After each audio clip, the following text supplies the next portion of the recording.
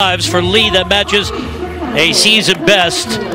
George wrapping up the all around was outstanding last week. Matched her career high with a 9925 in Corvallis.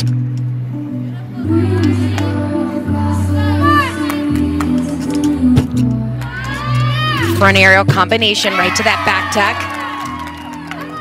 Those front to back series can be challenging. They have to stay fluid throughout the entire two elements, making sure they are fully connected. She did a great job of that.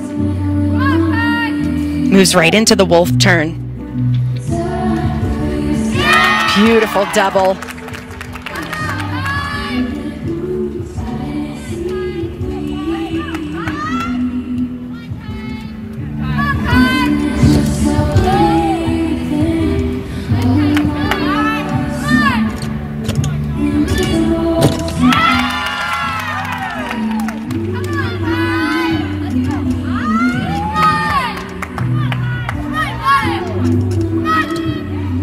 Gainer lap full. Another solid routine. And here come the